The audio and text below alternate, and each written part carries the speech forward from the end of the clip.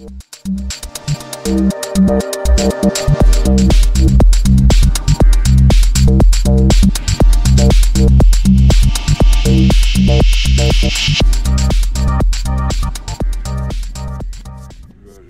to this video covering the ENTTEC DMX USB Pro.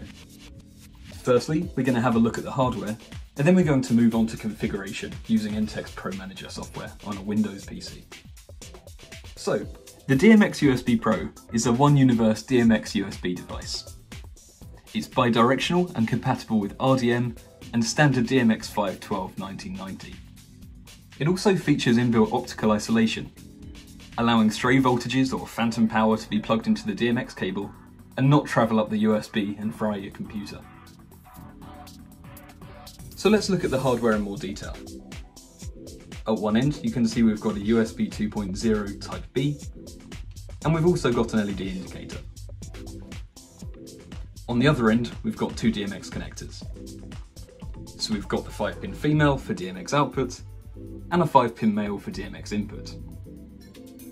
So as I said before, this is a one universe widget, meaning that you can't do input and output at the same time.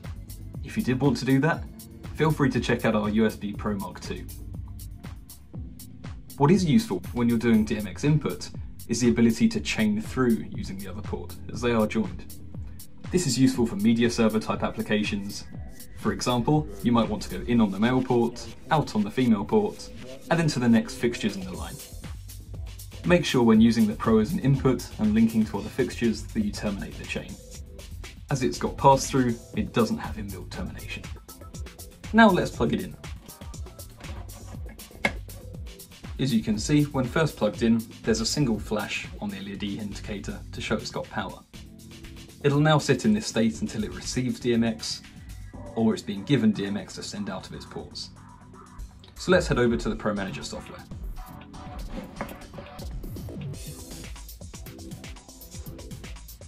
For the DMX USB Pro to be discovered on your computer, it needs to have the relevant drivers installed. When you download and install Pro Manager from the ENTTEC website, there's the option to install FTDI D2XX drivers. After you've done this, discovery of the DMX USB Pro should be simple. If you're a macOS user, this is native to the operating system as of macOS release 10.2. So as I said before, I'm using Windows. Open up the Start menu. Now it's going to fire an internal window before loading up Pro Manager within your web browser. The first thing we're going to do is press Find Devices to make sure everything's been discovered. We're going to navigate to the drop-down and select our DMX USB Pro. We can see the serial number, the firmware on the device, an image of it, and along with its capabilities, so right now we've got firmware version 2.4 which enables DMX and RDM. For this example we're not going to be using RDM and I'm going to select firmware version 1.44. After pressing update firmware it's going to push the configuration to the device and now it's going to restart. Rediscovery will happen automatically and as we can see here DMX is now enabled and no RDM. The frame rate of the DMX USB Pro can be set by navigating to settings. We can set the refresh rate, the mark after break time, and the break time. Once we're happy with this configuration, we can save the DMX parameters. Here I'm going to increase it to 40. The DMX USB Pro also comes with some really useful test modes. So if we navigate to DMX Send, we can select a source, be it test patterns, we can connect live from ArtNet coming from this PC or on the network, almost like an ArtNet node if you will. Or we can select directly from faders. So make sure the output is enabled and you can start dragging these individual faders to test any fixtures you might have on site. Personally, I'm a big fan of this. The USB Pro is always in my toolbox.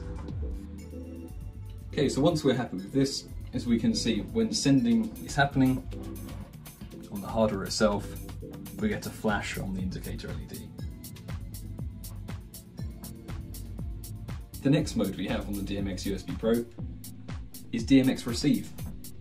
So I'm going to connect a DMX source to it here.